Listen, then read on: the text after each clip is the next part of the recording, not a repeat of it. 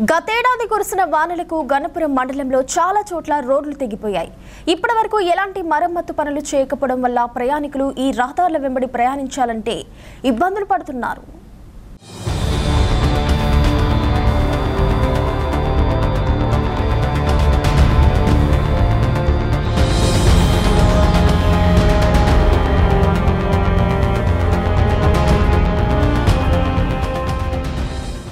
గణపురం మండలంలోని గొల్లపల్లి రవినగర్ కోడలి మధ్య గల రహదారి గతేడాది కురిసిన వర్షాలకు కొంత దెబ్బతింది. ఈ దారి గుండెనే నిత్యం బొగ్గు లారీలు ప్రయాణిస్తుండటంతో రోడ్డు మరింత దెబ్బతింది.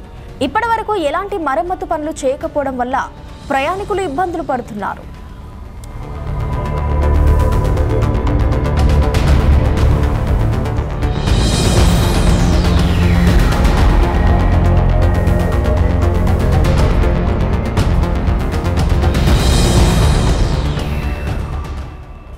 ఈ ప్రధాన రహదారి గుండా ప్రతినిత్యం బొగ్గును సరఫరా చేసే లారీలు తిరుగుతూ ఉండడమే కాకుండా వివిధ గ్రామాల ప్రజలు కూడా మంజూర్ నగర్ గణపురం వైపుగా అనునిత్యం ప్రయాణిస్తుండడం జరుగుతుంది.